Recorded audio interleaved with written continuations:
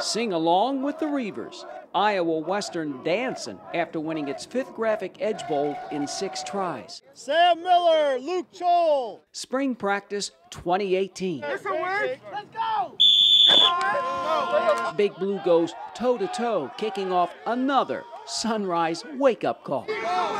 Our expectations are always high, you know, and um, but it's a whole new team as well, you know, and that's always the biggest thing. And you know, the returning guys, they know know what the expectations are. Newer guys, we got to get them into that to to work to, to fit our expectations.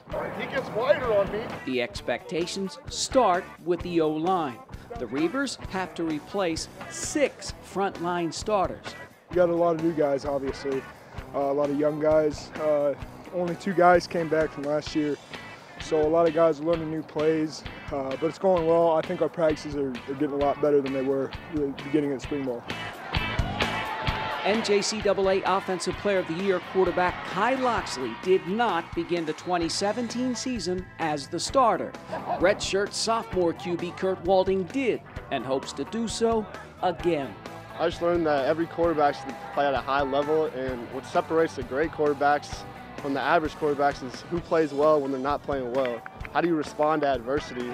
And that's just something that, that's just a good lesson I took away from last year. I think from perimeter we got some skill guys. We have as many as we've ever had returning from last year. You know, with with Nick Singleton and, and uh, um, Mike Hill, who played and, and, had a bunch of catches, and um, you know, I don't remember the last time we had two that had as many catches returning. What do you bring to the table? I definitely my quickness, my my athleticism, my awareness of just things being around me. I'm very light on my feet and uh, I think I'm really fast, so not many people can stay with me, especially in a one-on-one battle. You're gonna punch in the face, yeah. Four starters return to battle on the O show, five on the D side. The dark side is led by defensive ends Chester Graves and fellow sophomore Malcolm Lee.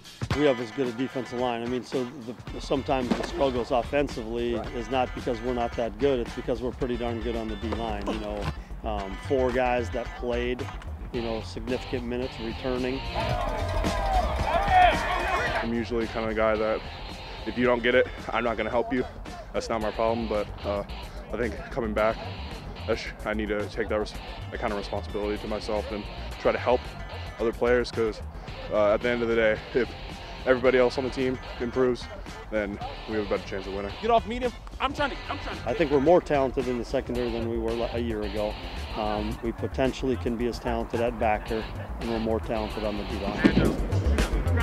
We're 97% uh, attendance rate, you know, from guys, and, and some of the guys who broke that 3% are no longer with us you know, so they, they didn't make it through winter conditioning. So I think when you have that and you're getting up at 5 o'clock in the morning or 4.45 when we started two days a week, um, you know, there's, there's some buy-in, you know, from them and, and they understand that when you put in that time, you expect results. And, and when you're up that early just with those guys and working out and running and doing those things, you're going to build some chemistry.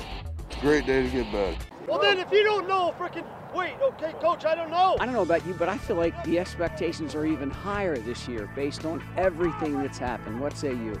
Yeah, I mean, you know, shoot, as, as a coach, uh, you, are going to make your expectations higher every single year. I mean, we hold ourselves to that. Shoot, we like that. If, if we didn't have those high expectations, um, you know, we'd be on the other end of it, and uh, I don't want to be there. 78 guys look to get there, make an impression before fall camp kicks off in early August. Now, Iowa Western has become one of the standards for success in the JUCO football world. It's becoming the Reivers world, and all the rest just living in it.